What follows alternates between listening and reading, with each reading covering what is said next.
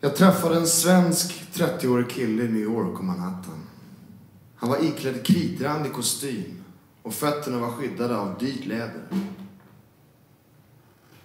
Och den yttre attributen hade prövningar bakom sig, det vill säga ränderna på den från början dyrbara kostymen satt mer eller mindre på tvären.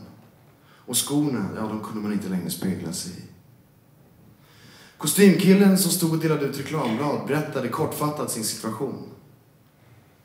Och varför han lite kontroversiellt med en till synes världsvan attityd befann sig i ett av många gathörnen för att dela ut reklamblad.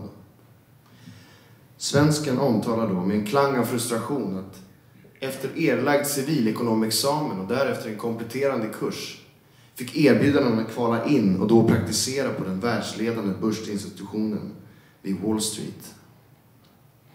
Den amerikanska rytmen medverkade till att han föll på målsnöret och med flåset i nacken från vänner och bekanta angående karriär och status gjorde det omöjligt att göra en Eriksgata i det land där Jante är den mentala borgmästaren.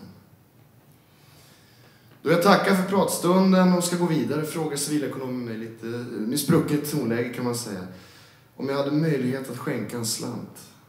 Då i form av köpa hans annars dyrbara Cashmere woolrock som hänger likgiltigt på den reklambladsfria armen.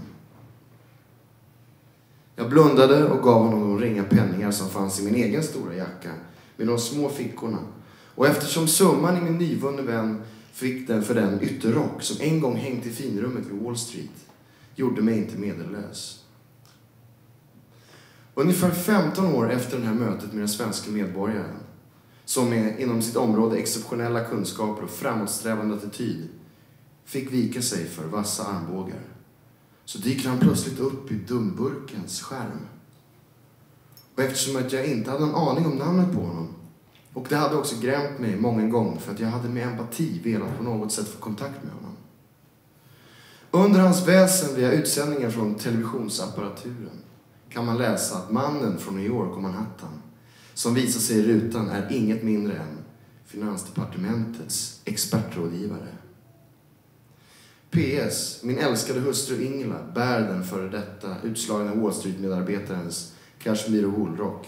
Och då med största vördnad, medan sensmoralen i denna från början dystra situation till denna solskenshistoria dock var att innan ägaren till den på marknaden dyrgripen, som ska skydda från regn och rusk, gav vi det tillfälle, som servilekonomer från gamla Svedala, var ett offer för fåfänglighet och prestationsångest. Och budskapet är det finns inga misslyckade försök. Och det är inte de gånger man trillar som räknas. Utan de gånger man reser sig upp. Tack.